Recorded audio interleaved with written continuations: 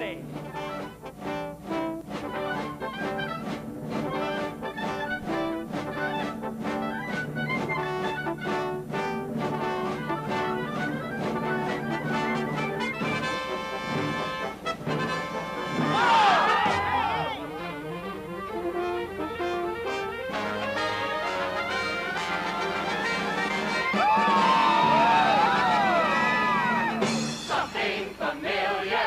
Something peculiar, something for everybody comedy tonight.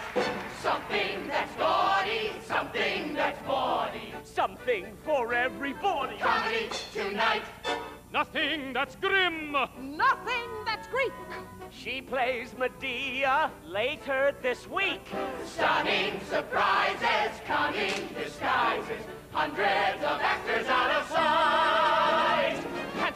and tunics. Courtesans and eunuchs, Funerals and chases. baritones and basses, Panderers. Philanders. cupidity, Timidity, mistakes, fakes,